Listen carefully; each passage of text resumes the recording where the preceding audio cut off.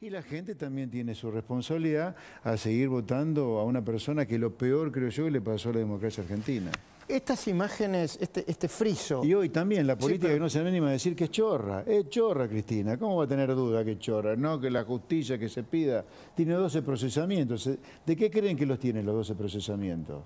Y, y por jefa de, de- la de- Madre de organizaciones y, y la imputación es, es gravísima, como jefe de una organización criminal Bueno. que le roba plata al Entonces la política no puede tener duda en El calificar celular, realmente... el celular es tuyo. Es mío. es Lo mío. pago. Adicionalmente, los 370 mil pesos, yo tengo pago por los contribuyentes cuatro asesores. Ok. Eh, uno es economista, tengo un abogado para la redacción de las leyes, una secretaria y otra persona que se dedica a todo el trabajo parlamentario. Eh, ¿Está de acuerdo con el uso de pasajes? Que te den pasajes, Sí. que, es decir, que además de los 370 mil pesos de sueldo... ¿Que te den pasajes para viajar a tu provincia o para...?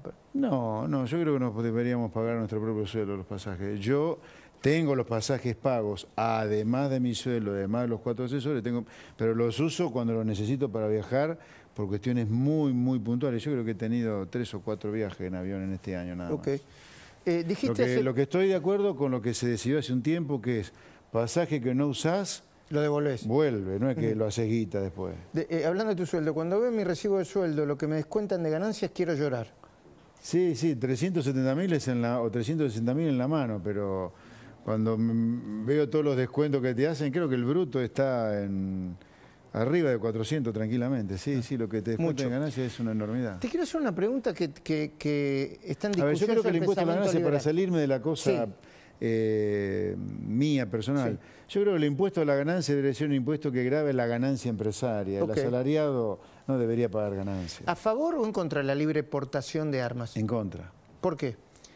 Porque la seguridad es un bien público, que lo tiene que prestar el Estado, pero el Estado nos tiene que dar eh, seguridad. Yo estoy a favor de eh, los que mm, de los legítimos usuarios, eso hay que protegerlos, cuidarlos. Ahora, la aportación en un país civilizado como este, con la educación destruida, es un peligro. Viste, vos das libre portación de armas, te enojás con uno en un semáforo, eh, lo cagás a tiro, acá eso puede ocurrir. A favor Yo creo que la seguridad es un bien público, ahora me quiero detener en esto. Banquemos a la policía cuando la policía pone orden contra un delincuente en defensa de un inocente y no la empalemos como hoy. Pongámosle eh, comisarías dignas, no las letrinas que los policías tienen hoy para trabajar. Démosles patrulleros que A ver, yo creo que Argentina es un país tan enorme que si vos pusieras reglas buenas para la competencia, para hacer negocios en materia de aeronavegación y decretaras cielos abiertos, vendrían montón de aerolíneas a volar por todo el país. Por lo tanto, yo creo que aerolínea hay que cerrarla. Y los buenos empleados de aerolíneas conseguirían empleo rápidamente si vos ponés cielos abiertos. Aerolínea hay que cerrarla porque está podrida por los malditos cinco sindicatos que hay ahí, que tienen podrido a los buenos laburantes de aerolínea. La gente buena de aerolínea, tarta aerolínea, tarta trabajar ahí. No se va porque hay un monopolio. Dicho sea de paso, ese monopolio hace que la gente de laburo, para ir a trabajar un día a una ciudad del interior, se tenga que quedar tres días, porque los vuelos los tenés cada... eh, tardan más que muerte de obispo, un vuelo de aerolínea, ¿viste? Vuela hoy a las 6 y te trae de ese lugar dentro de dos días a las 8 de la noche, ¿viste? Imposible, imposible. José Luis, gracias por haber estado y compartido con nosotros. Es Muy interesante noches. siempre conversar con vos.